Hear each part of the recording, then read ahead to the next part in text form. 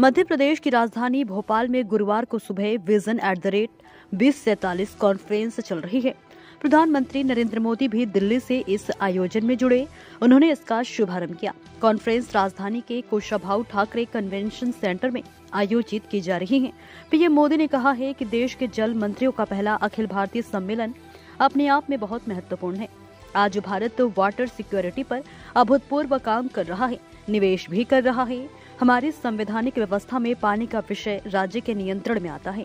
PM Modi ने कहा कि हम जल जागरूकता के लिए आयोजन कर रहे हैं। हर घर तक पानी पहुँचाने के लिए जल जीवन मिशन आपके राज्य का बड़ा डेवलपमेंट पैरामीटर हो सकता है। मोदी ने कहा कि इंडस्ट्रीज़ और खेती ऐसे सेक्टर है जिसमें स्वाभाविक रूप से पानी की आवश्यकता होती है। हमें दोनों ही सेक्टर से जुड़े लोगों के लिए विशेष अभियान चलाकर उन्हें वाटर सिक्योरिटी के प्रति जागरूक करना होगा।